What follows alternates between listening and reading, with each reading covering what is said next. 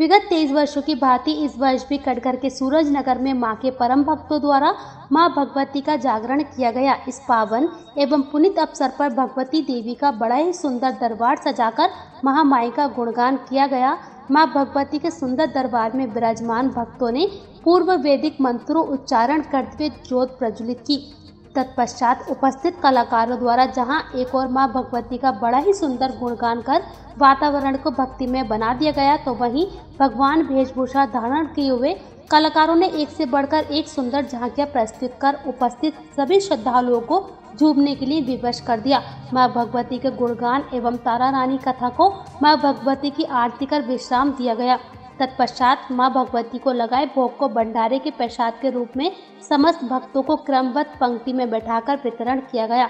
कार्यक्रम में मुख्य रूप से ब्रज किशोर फूलमाली, हरिओम फूलमाली, रमेश फूलमाली नंद किशोर फूलमाली, तेजपाल सिंह पासी बुलाकी राम सिंह पासी बदाम सिंह पासी पीतम सिंह पासी सोमपाल सिंह पासी महेश सिंह कटारिया, शेर सिंह पासी चंद्रपाल सिंह, प्रमोद कुमार श्रीवास्तव राहुल राणा डॉक्टर कटेरिया महेश सिंह ठाकुर नन्हे मास्टर आदि उपस्थित रहे।